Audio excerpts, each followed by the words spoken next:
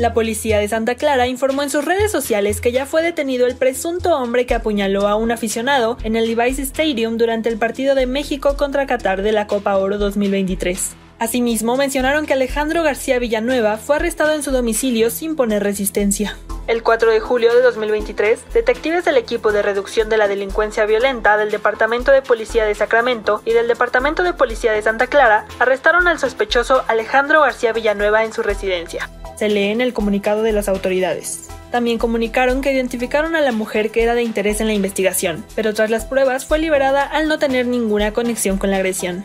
El sujeto de 29 años fue arrestado por intento de asesinato. Su localización fue exactamente en el bloque 3300 de la avenida 22 en Sacramento, lugar en el que llegaron con una orden de registro de la residencia del sospechoso García Villanueva y localizaron pruebas. Las autoridades lo trasladaron a la cárcel principal del condado de Santa Clara para nuevos procedimientos penales. La policía agradeció a las personas que se pusieron en contacto para aportar pruebas y dar con Alejandro. Asimismo, los invitó a seguir colaborando en caso de tener mayor información, ya que es una investigación activa.